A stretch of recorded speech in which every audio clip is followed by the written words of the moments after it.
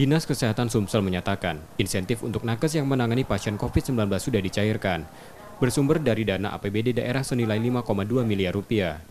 Dinkes Sumsel juga memastikan, tunggakan pembayaran insentif sejak Januari hingga Juni lalu sudah diterima 500 nakes dengan nominal berbeda per bulannya.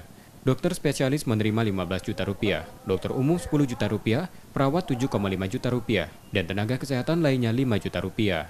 Insentif nakes periode Juli hingga Desember 2020 nanti sudah dianggarkan sebesar 51 miliar rupiah yang juga dialokasikan untuk vaksinator dan kemungkinan ada penambahan jumlah nakes. Masing-masing daerah juga diminta melakukan refocusing anggaran penanggulangan COVID-19 untuk bantuan sosial bagi warga yang melakukan isolasi mandiri dan terdampak PPKM Mikro.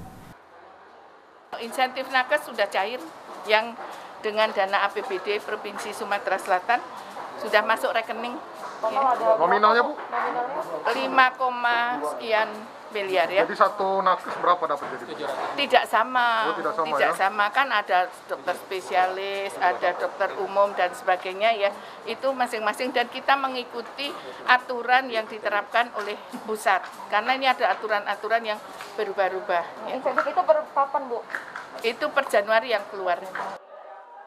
Sebelumnya Sumsel termasuk satu dari 19 provinsi yang ditegur Mendagri karena serapan anggaran untuk penanganan COVID-19 rendah.